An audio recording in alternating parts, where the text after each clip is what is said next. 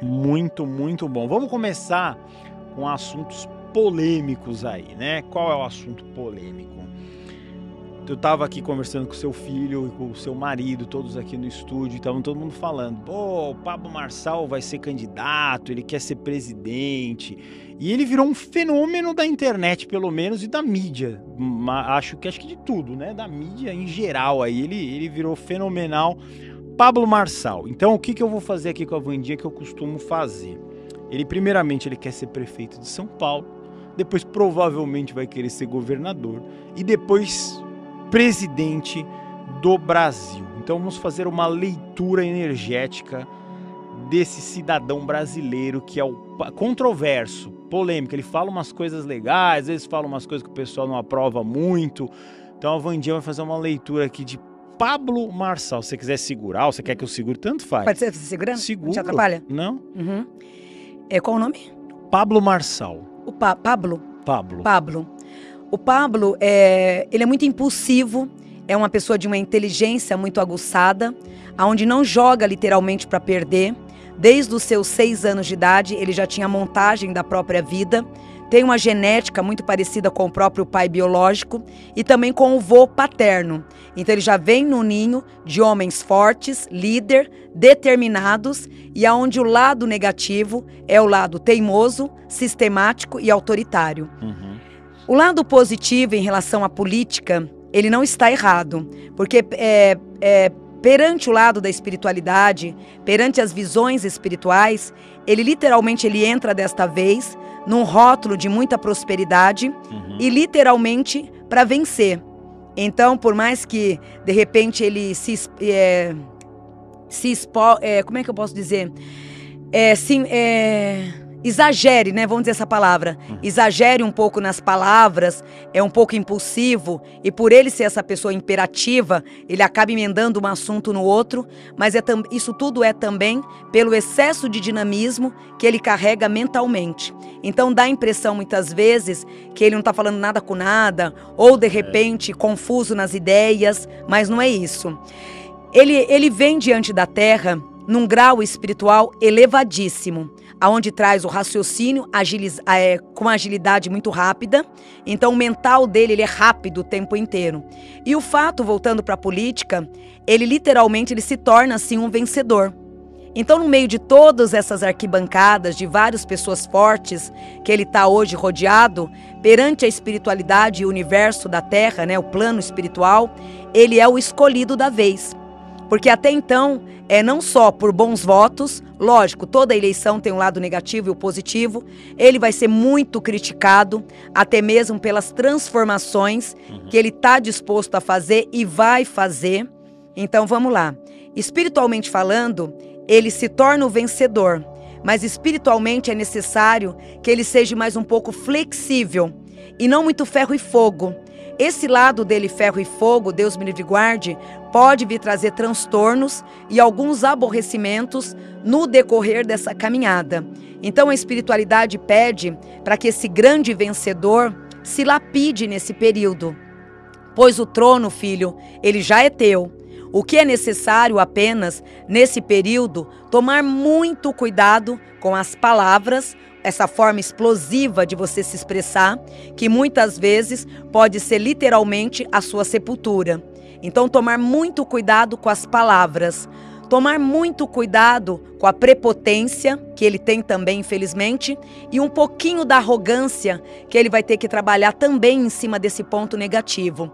Porém, o lado positivo, ele é imenso, e é exatamente esse lado positivo que nós queremos que você faça a grande diferença pois sabemos o tanto do teu potencial.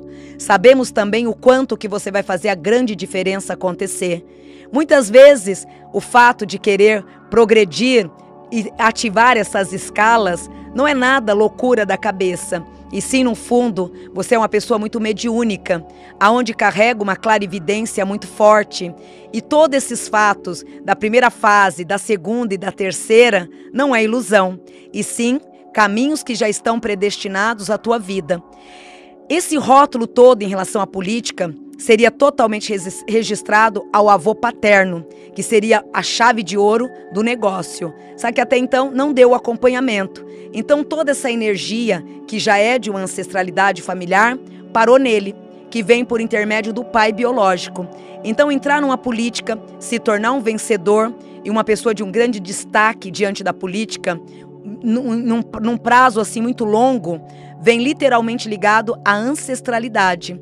Então ele já vem com essa missão, porém ele também tem que tomar cuidado com essa missão, porque essa missão, ao mesmo tempo que vai dar o rótulo de poder e de liderança, é a forma também que o universo pede para que ele comece a se lapidar.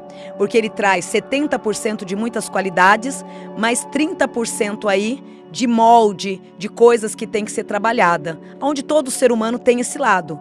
Ele tem três lados aí que na política e nesse no entrar na política, ele vai ter que começar a se lapidar para que ele não se atropele e nem pise no próprio rabo.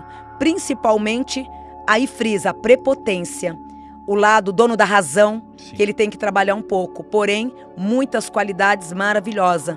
Uma delas é a espiritualidade dele, independente de religião. Desde criança, ele já tem essa espiritualidade muito aguçada.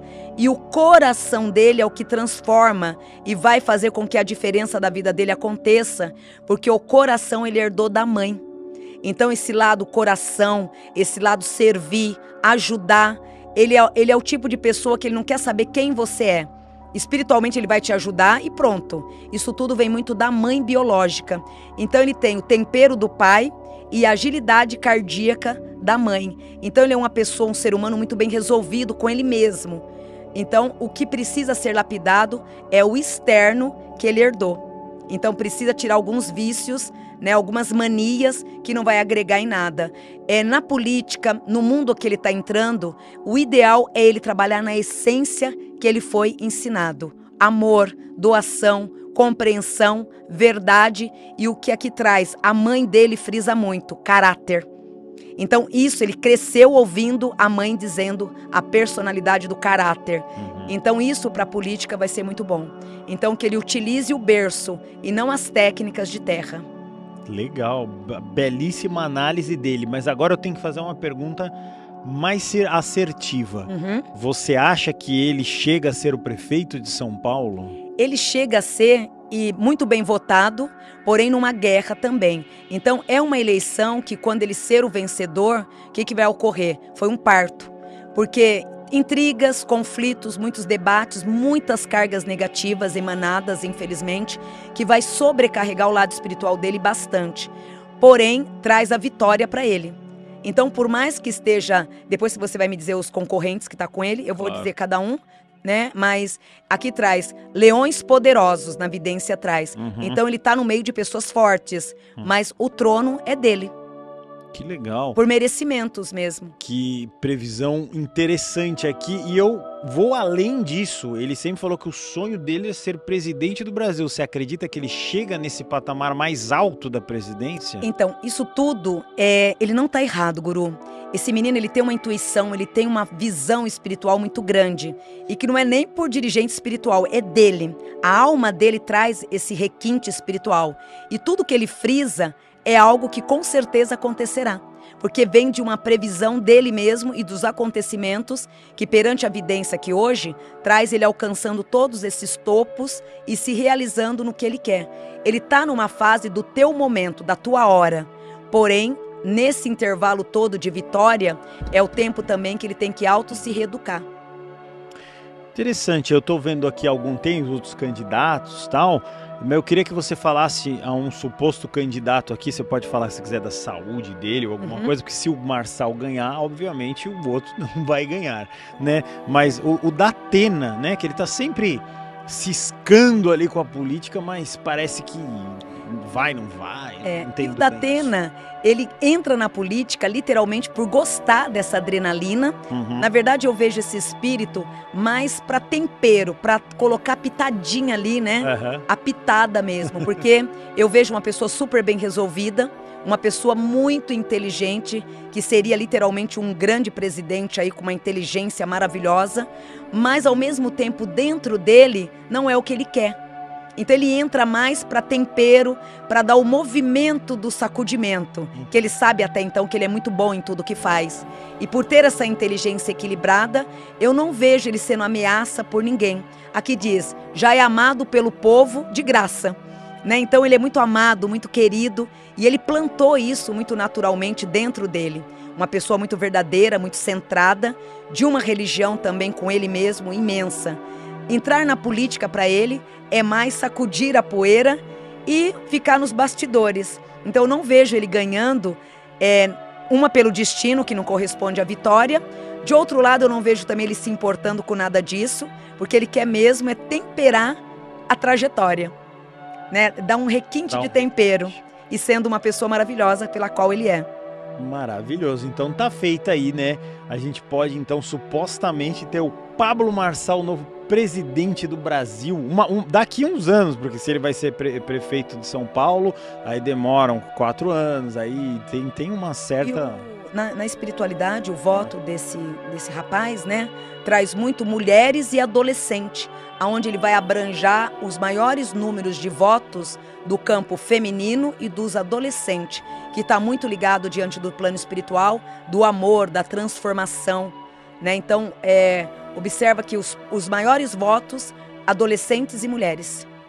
Então a chance dele ganhar é maior, porque existem mais mulheres do que homens no mundo inteiro. É interessante, força. muito legal isso. Que você agradar uma mulher aí você vai conseguir conquistar as outras pessoas. Sim, que é tudo, né? Que é tudo. É tudo. Você está agradando a mãe terra, é. olha só. E eu não estou fazendo campanha nem nada aqui, hein? pelo amor de Deus, estou falando só de possibilidades. Aqui é como se fosse um jogo, a pessoa não tá falando do candidato A, B, é porque como a gente está com a Vandinha, a gente quer saber dos destinos das, das coisas, do Brasil, de São Paulo e etc. Então, não fiquem com essa, ah, o guru tá puxando o saco do A, do B, do C, não pelo amor de Deus, aqui ganhe quem tiver o maior número de votos. E o merecimento do universo, o né? merecimento né? do universo. Vandinha, vamos falar de uma coisa bem interessante que você que me contou, eu não sabia dessa história, que existe um pagodeiro, né, muito famoso, que é o Tiaguinho. Talvez atualmente acredito que seja o maior empresário do pagode, né?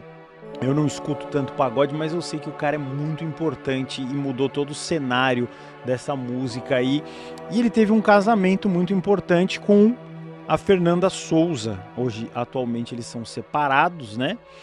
E ela que fez um grande sucesso em novelas, tanto na SBT quanto na Globo, né? Um personagem icônico dela, claramente, foi na Chiquititas, lá que todo mundo assistia.